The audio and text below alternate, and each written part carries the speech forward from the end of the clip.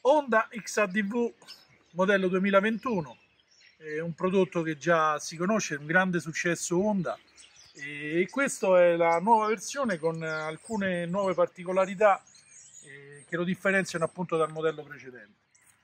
Sicuramente a livello di, a livello di, di blocchetti per, di, per, quanto riguarda i comandi è sicuramente cambiato in confronto a prima. Eh, abbiamo qui addirittura un, un mouse virtuale che ci permette eh, di fare qualsiasi tipo di operazione in maniera abbastanza semplice.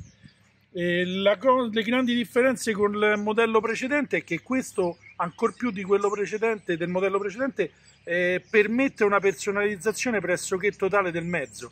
Eh, perché ha innumerevoli regolazioni a livello di traction control, potenza del motore, freno motore, ABS e quant'altro che appunto ci permettono di cucirci addosso questo mezzo.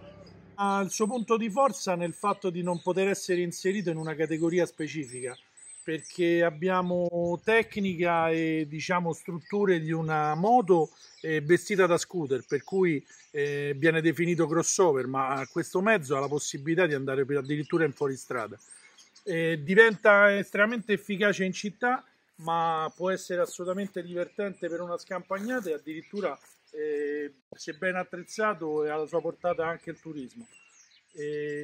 Quello che bisogna ecco, fare molta attenzione è all'uso delle mappe, più che nel modello precedente, perché tutte quante le mappe sono state ottimizzate eh, per il loro specifico uso. Per esempio la Sport è una, un tipo di, di, di, mappatura che permette una guida molto efficace nel, nell'extraurbano e anche a livello autostradale ma pone dei limiti a livello di guida in città o di guida eh, diciamo tranquilla perché ha un freno motore troppo invadente, perché ha un'accelerazione di un certo tipo e in questo ci viene in aiuto anche la mappa user che ci permette eh, di fare una, un tipo di mappatura che sia assolutamente perfetta per il tipo di percorso che generalmente usiamo tutti i giorni o che eh, intendiamo fare.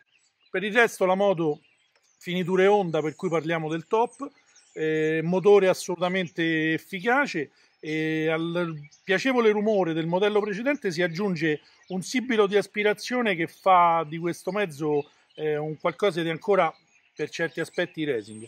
Per il resto un mezzo molto molto molto divertente. Due domande eh, Andrea. Difetti.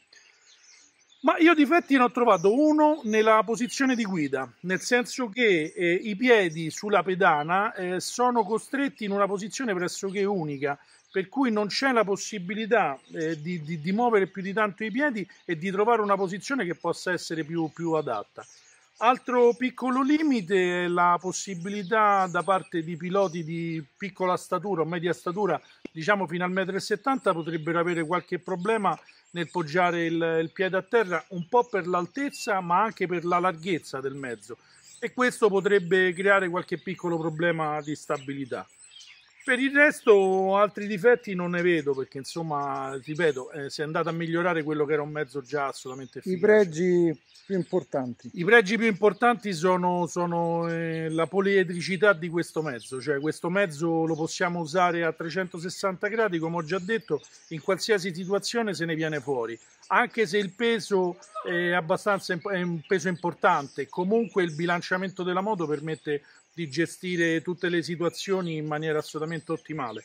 È un mezzo che appunto strizzando l'occhio al fuoristrada va molto bene anche sulle nostre martoriate strade italiane, specialmente le strade in città, eh, parlando di Roma che è l'esempio classico italiano, diciamo che con questo mezzo le buche possono essere affrontate in maniera assolutamente tranquilla. È stato un piacere, alla prossima, mi raccomando, sempre con il cervello acceso. Ciao.